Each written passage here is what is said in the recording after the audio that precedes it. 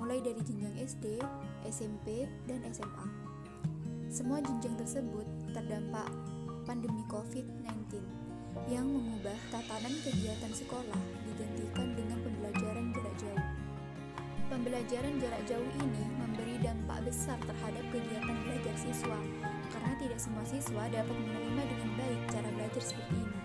Berbagai masalah yang dapat ditemukan dalam pembelajaran jarak jauh, salah satunya rasa malas siswa dalam membaca buku. Alasan umumnya tidak bisa meminjam buku karena tidak bisa berkunjung ke perpustakaan.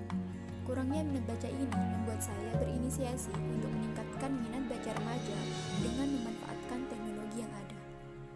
Berdasarkan permasalahan sebagaimana yang telah saya gambarkan, maka saya memilih untuk melakukan program kerja dengan judul Pemanfaatan Perpustakaan Online sebagai pendukung minat baca remaja di Desa Warawar. Perpustakaan online yang saya pilih adalah Ipusnas. Apa itu Ipusnas? Perpustakaan digital yang dimiliki oleh Badan Perpustakaan Nasional. Ipusnas sendiri uh, sudah diluncurkan sejak 16 Agustus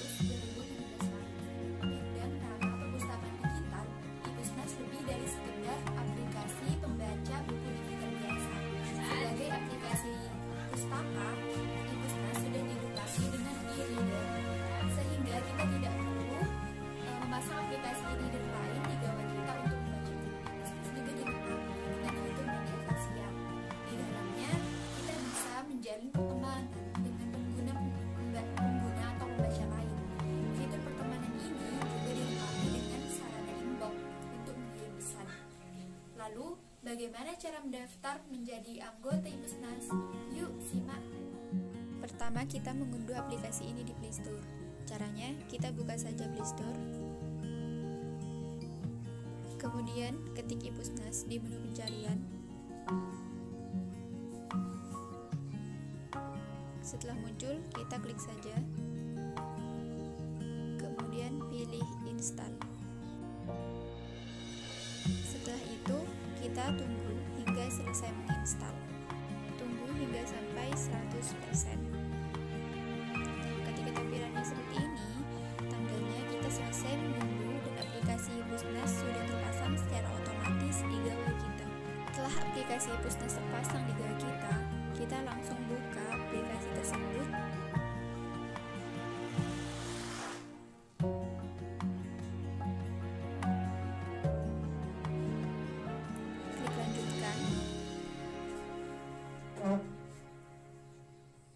lanjutkan. Lanjutkan. Klik mulai sekarang. Izinkan. Izinkan. Oke. Geser ke sebelah kanan.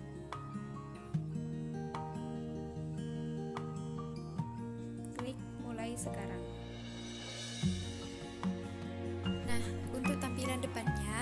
seperti ini.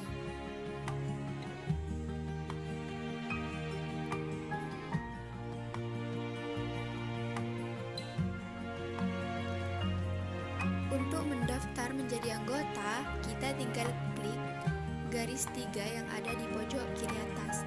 Klik login sekarang. Mendaftarnya bisa menggunakan akun Facebook atau email. Di sini saya akan email. Tinggal klik alamat email dan passwordnya.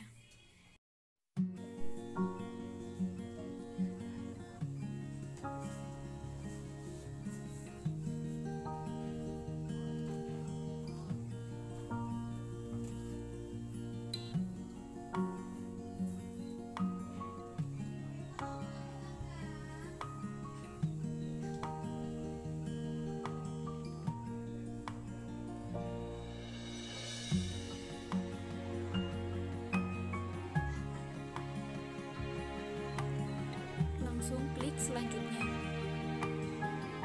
Nah, karena saya sudah terdaftar sebelumnya, jadi tampilannya langsung seperti ini. Untuk tampilan depannya seperti ini. Sebelumnya, saya akan mengenalkan beberapa fitur yang tersedia dalam aplikasi ini serta fungsinya. Setelah masuk ke aplikasi, kita akan disuguhi menu koleksi buku. Ini merupakan menu koleksi buku. Berlanjut ke sebelah kanan menu koleksi buku, yaitu menu e-pustaka. Menu ini berisi koleksi e-book dari orang atau institusi tertentu. Kita bisa bergabung di dalamnya untuk bisa membaca koleksi mereka. Dari gambarnya saja kita melihat siapa saja tokoh tersebut. Sebelah kanan menu e-pustaka yaitu menu feed. Menu ini kita bisa melihat kumpulan informasi yang bersifat umum.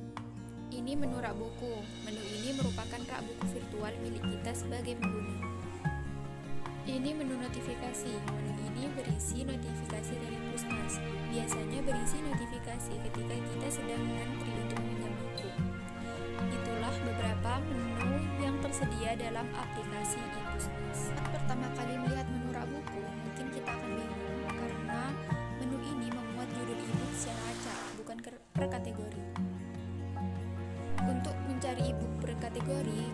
cukup tanda panah di pojok kanan atas. Barulah terlihat kategori e-book apa saja yang dimiliki Pusnas, mulai dari fiksi hingga non-fiksi. Lalu, bagaimana cara meminjam e-book di Pusnas? Caranya cukup mudah. Kita tinggal mencari e-book yang diinginkan. Saran saya, gunakan fitur pencarian yang ada di pojok kanan atas. Cari e-book apa saja di situ. Tinggal ketik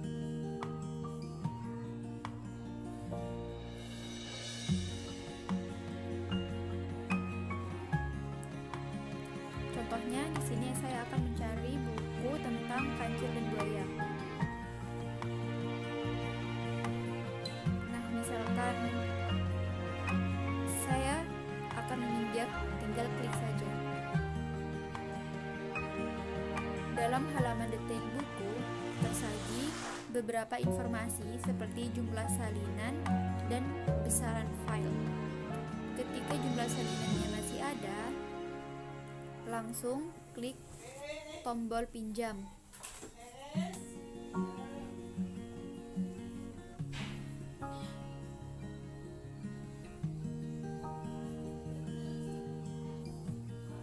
Klik populer.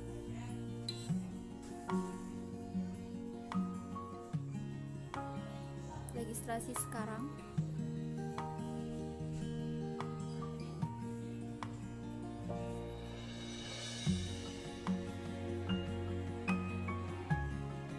masukkan password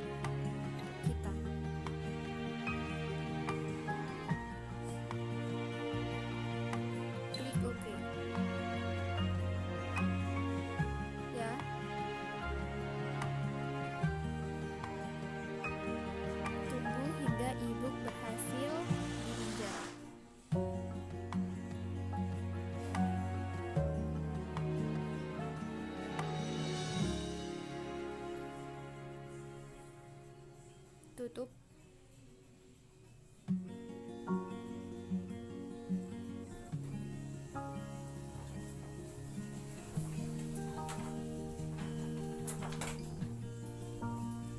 tunggu hingga 100%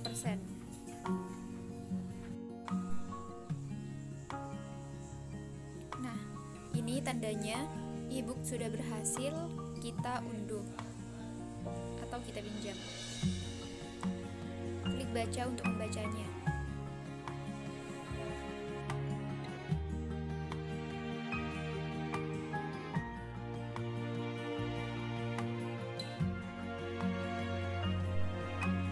Atau kita langsung buka rak virtual dan pilih e-book yang baru saja kita pinjam tersebut.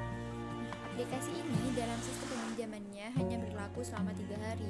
Dalam satu hari, kita dapat meminjam sebanyak tiga e-book yang ada di dalam aplikasi bisnis ini. Kalau misalkan sudah jatuh tempo, tetapi kita lupa untuk mengembalikan e-book, maka e-book akan kembali secara otomatis. Jika kita ingin mengembalikan, klik titik tiga pada pojok kanan bawah.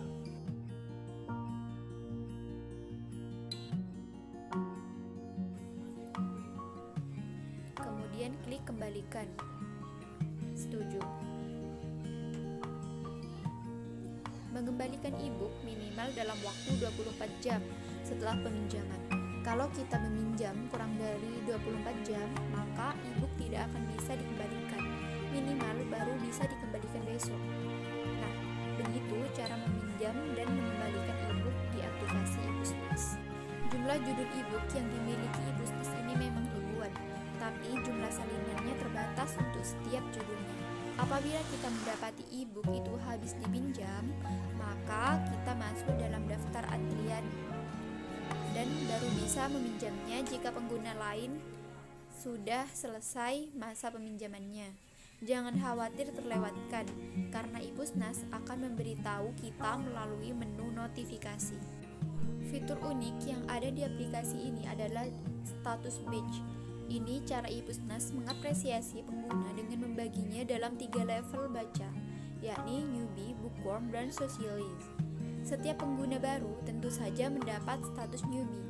Untuk naik ke level berikutnya, ada persyaratan tertentu yang harus dipenuhi. Dari newbie ke bookworm, kita harus melengkapi profil, mengunduh minimal 10 ebook, membaca minimal 5 ebook, dan posting minimal 5 komentar pada ebook yang. Perpusnas menjadi solusi bagi masyarakat yang karena terhalang jarak dan waktu tidak sempat berkunjung ke perpustakaan umum saat mencari buku yang mereka inginkan. Keberadaan di Pusnas ini diharapkan akan memicu minat baca masyarakat Indonesia dalam membaca buku dalam format digital, sekaligus meningkatkan budaya literasi bangsa kita. Aplikasi Pusnas ini saya terapkan kepada remaja di desa awar-awar dengan tujuan untuk meningkatkan minat baca.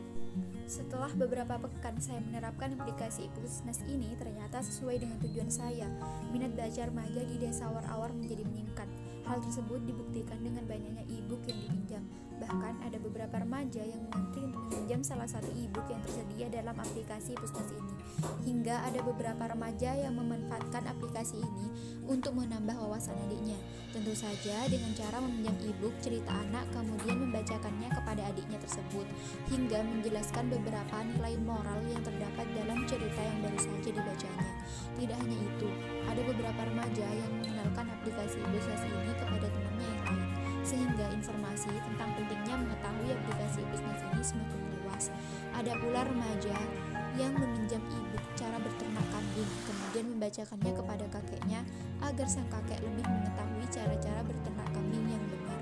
Ada beberapa yang meminjam e-book resep masakan untuk mamanya, agar sang mama belajar untuk mencoba resep baru dalam masakannya. Hal tersebut cukup membuktikan bahwa penerapan aplikasi Pusnas ini tidak hanya bermanfaat kepada remaja di desa awal-awal yang menjadi sasaran dalam menerapkan dan mengoperasikan aplikasi Ipusnas kepada remaja desa awal-awal ini tidak serta-merta berjalan mulus. Ada beberapa kendala yang beruntung bisa dibicarakan Kendala tersebut mulai dari sinyal yang buruk hingga ada beberapa remaja yang lupa dengan salah satu fungsi yang tersedia di Ipusnas. Untuk masalah sinyal, kami memutuskan untuk meminjam e-book saat sinyal sedang baik atau menggunakan jaringan WiFi milik salah satu remaja desa awal-awal. Sedangkan untuk beberapa remaja yang lupa dengan fungsi dari menu yang tersedia dalam aplikasi Pusnas, saya mencoba untuk menjelaskan ulang menu-menu tersebut. Mungkin hanya itu kendalanya selama beberapa pekan penerapan aplikasi Pusnas di Desa Rawar. Selebihnya, kegiatan berjalan dengan lancar. Pada suatu kesempatan, saya memberikan paket data kepada remaja desa awar-awar dengan tujuan untuk menambah semangat minat bacanya. Itulah program kerja yang saya lakukan di Desa Awar-Awar. Menurut saya, program kerja yang saya lakukan di desa ini berhasil karena melihat dari meningkatnya minat baca sasaran serta manfaatnya bagi lingkungan sekitar sasaran. Dan menurut saya, sejauh ini aplikasi Busnas cukup efektif diterapkan di Desa Awar-Awar.